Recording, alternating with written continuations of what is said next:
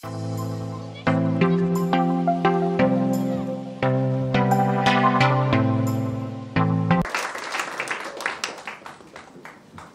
you organizers for inviting me here to share a few thoughts of mine.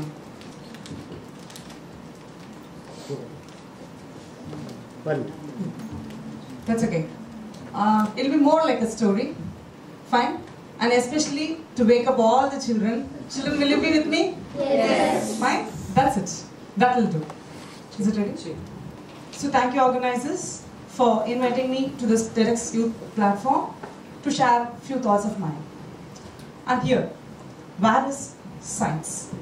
Is it there in the textbooks in black and white as formula, as definition, as description? Is it there? Yes, for some.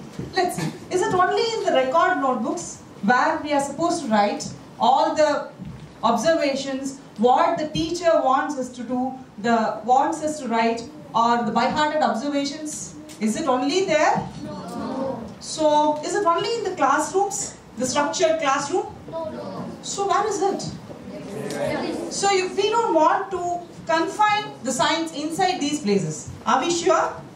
So, is science?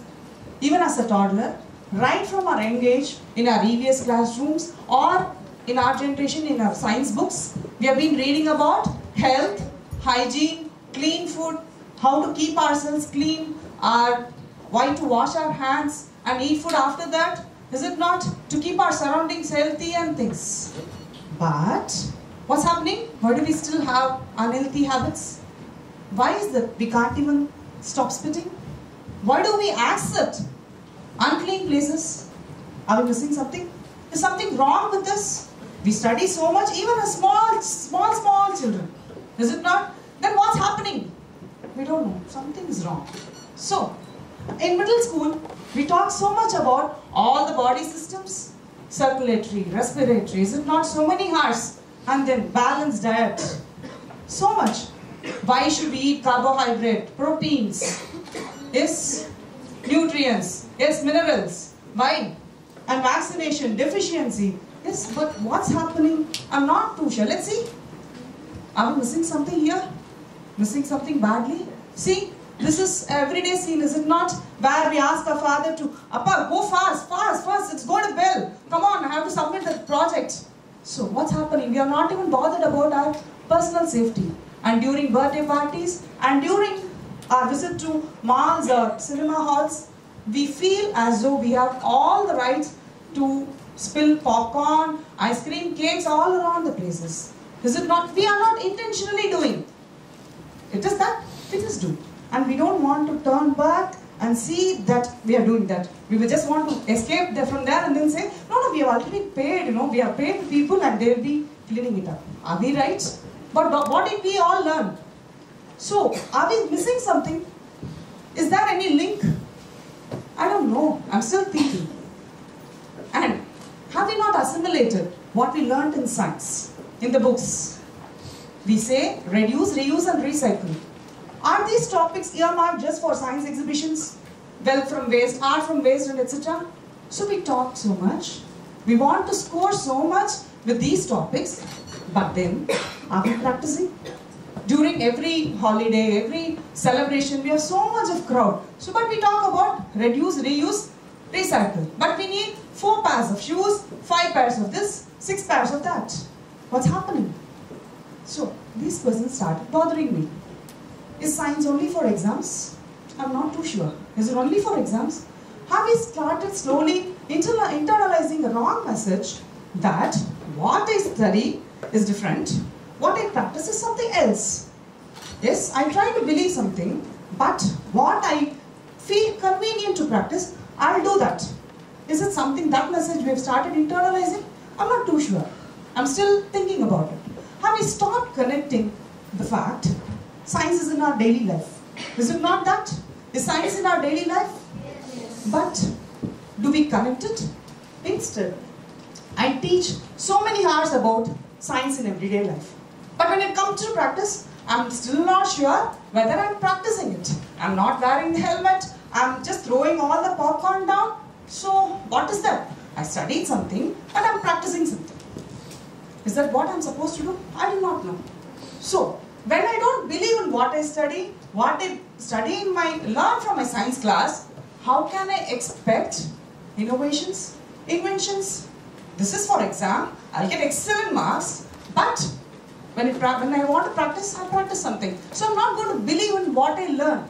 So how can I expect innovations and inventions? So what is needed?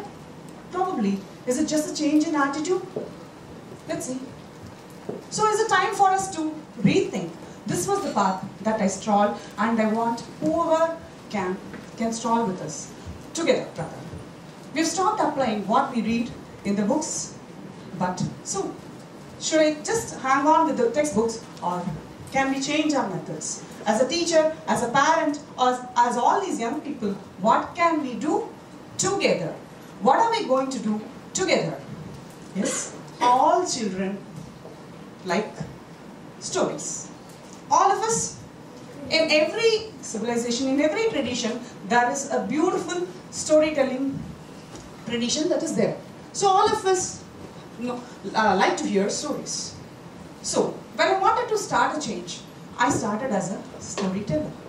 Yes. So how can we tell science through stories? Just imagine in your class, somebody is going to talk about vitamin B, beriberi, vitamin C, all these things, the inventions, as stories. How would you like it? Would you like stories or do you want just texts? Stories. So why, why stories?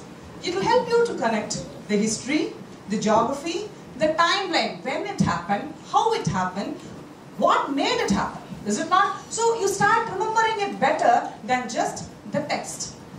So this started compelling me to learn more and more and that's how my journey started.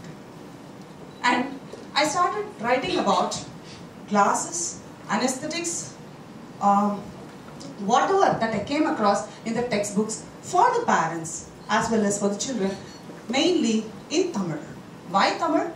Because in, eh, India is a very diverse country. You have so many languages. It has to reach lots of people in lots of languages. You Google, you get most of the things in English. Who is that to tell everything in Tamil? So, we need to, I started this on lot of science stories, the facts in Tamil. So about balloons, whatever that the children are learning in the classrooms, this is how it started. About the invention of how antimony was discovered, about beriberi, soda water. This compels me, compels anyone to connect the dots, the history. You learn along with the story, you learn history, geography, geology, and how it all happened. So, should I be a single person or anybody who is going to join this? Yes, you can tell stories, is it not? If you know the story, can you tell the story or not? So can you be a change maker? Everybody can be a change maker. In which case, at that point of time, few years back, I was thinking whether I am alone. Can I do it alone? Who is there to help me? This is not, these are the questions that linger, for anybody, that would linger in your mind. So, if you can, just visit Arvind Gupta, the great toy maker, science toy maker. Manu Prakash, Foldscope, who makes Foldscope, which is a foldable microscope. So these are the people who are working towards outreach. Knowledge without borders, Jean-Pierre Petit. What can you, you, how many of you like science in the form of comics? Will anybody like to uh, read uh, science in the form of comics? So, Knowledge Without Borders, it is run by Jean-Pierre Petit. It has lots of science in comics. Why not we as a community start translating it in different languages? Kaleidoscope, that's another translation community that is in IIT Madras. So why not we join together? Outreach is done by many, many people including Astronomical Society of India. So why to translate? There are a lot of books available in the comics form on education and science. So if we need some change, who has to do all these things? One single government or one single soul or just teachers alone cannot do all these things. So there is so much of collection available. Shall we do together? Why should I do all those things? Otherwise, children will be leaving us even before taking up science as a career. before we think about invention and innovations, people would have already left. How many of us here know about Janaki Ammal or Professor G. N. Ramachandran or Dr. Kamala Sohonie in our textbooks? So, these, are, these were all great scientists of our country. So, if we have to know, we need to know their history, is it not? So, who will take all these things? Who's going to bell the cat? Can't we? Can't we? As a community, can't we? Are we as a society ready to, uh, to share this knowledge? Can we do our bit? Can we expect some changes in the attitude? Each of us, as a parent, you don't need a doctoral degree, you don't need to be a teacher necessarily, you don't need to be some superpower. Can we do it as an individual, at our own leisure, at our own time? Can we promise to do this? Whatever bit that I can do, I would like to do. So, this is how my tra travel went on, from print media to All India Radio and through TV and through web. So when there is so much to be done in science, communication in Tamil, we need a lot of people, not only in Tamil, in any language of India, because then only it will reach every place, every child in the country. So, these are the things. Uh, when I started my storytelling to who, uh, small, small places in the slum areas, wherever we could, we were able to, myself and my team, we started reaching small children who was there. As well, when I started, I, I was alone. Then, slowly, my friends, my colleagues joined in. Then, like you, there were many people who are my students, they joined, joined me slowly. And you know what? 300 and plus videos were dubbed into Tamil with the ordinary Nokia cell phone. What videos? Science videos. All these science videos are available in the public domain. In Arvind Gupta toys. So if a child wants to know how, what is pressure, experiments on sound, experiments on air, the child can go there, click it, and then see it and learn it herself or himself. Who did this? Small students like you. So can't we put in some effort? And for during every celebration, and especially during Madras Day celebration, we had a lot of charts displayed about science and Madras Connect. So st children started learning about science. Through what? Through stories, through charts. And science experiments were done in many small, small schools, small, small areas. I tell you this small story. Yes, here there is one Anna. Yes, when he was in first year, when he joined our college, he knows to speak Telugu very well. Yes, I do not know to speak Telugu. There were some five or six children coming from a small village from Andhra Pradesh to visit our Tamil Nadu Science and Technology Center. I do not know Telugu. So I called that Anna and said, come on, you be with me and translate whatever science experiments are there, whatever is there, you translate it. You know, the children enjoyed so much and they did not feel they did not, they were new to the place. And you know what happened to this Anna? And he started his own team and started going to many, many places and started a lot of science activities and he is doing his doctorate now. Yes? So where did he start? In helping others. Fine? These were the small, small, small, in, around your community, around in your place, you can do small experiments. Fine? So, here the other two annas are addressing uh, some school children and these were done during the school break, college breaks or 15 minute break or interval breaks.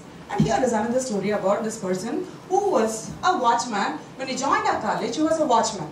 And he became a mechanic in my department. And after that, after these lot of science activities, he started involving himself in many activities. Now I tell you, he is a writer. Can you believe it? Watchman turned into writer because he felt so much good about what he was doing. And he started presenting his papers in Tamil, of course. Yes, he doesn't know English much, but he has started presenting papers in Tamil. So, can we do something together? That's my only question. If we want to seize the future, can, can we do some community activity? Should I alone do? Will there, will there be somebody to help me? Yes. There are many people who do outreach activities. Can I join them? Yes, yes. Uh, have you read about oxidation, acid, base, everything? Chemistry somewhere, all the big girls and boys? Yes. Here you know. Have you gone to museum? Can you connect the museum and ask base oxidation? Is there any link? Yes, I tell you. Here, my students are learning from the museum people how to, you know, curate the objects using chemical technology, using chemicals, how to remove the oxidized part, how to preserve wooden uh, idols or bronze idols or the iron ones, everything. So, you start linking what you study with practical knowledge. So, please, there we need a lot of outreach programs also for whom? For the teachers. They need a very free environment so that they can learn. So who will give the resources for them? It is nothing but it should be a community activity.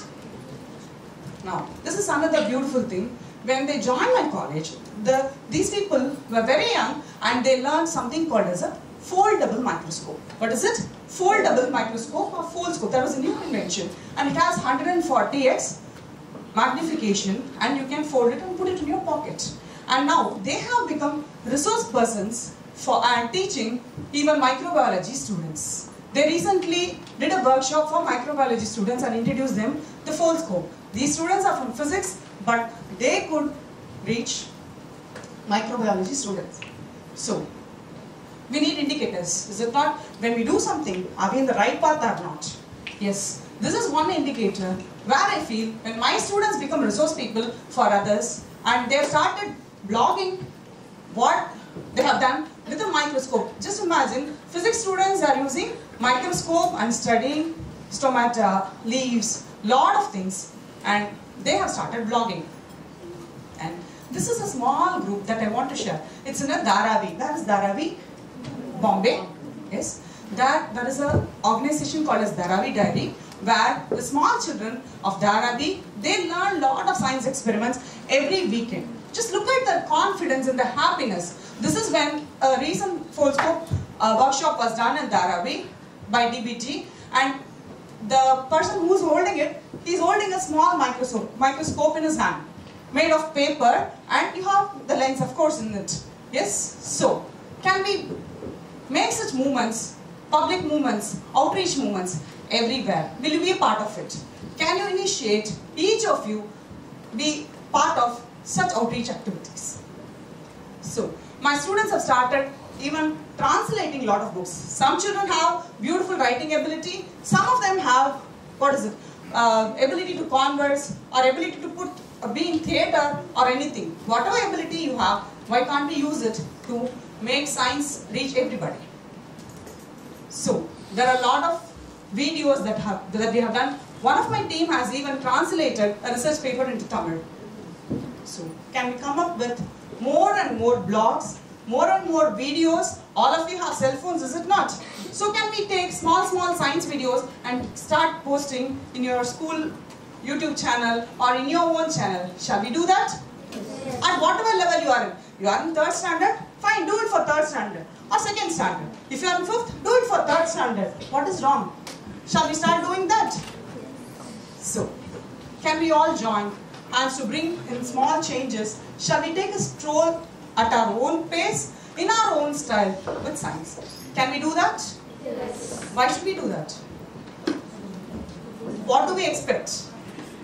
Otherwise, science cannot be communicated and it will lie down. What was the first slide? It will lie, it will lie down or get confined only to the textbook and four walls. If we want to take science to everybody, it has to be communicated.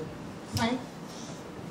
And these people are my mentors, the hummingbird Wangari Maathai or Yashpal and Arvind Guptaji or Dibala. They have been big science communicators. You can know more about them and let's try to outreach others. Thank you for the opportunity.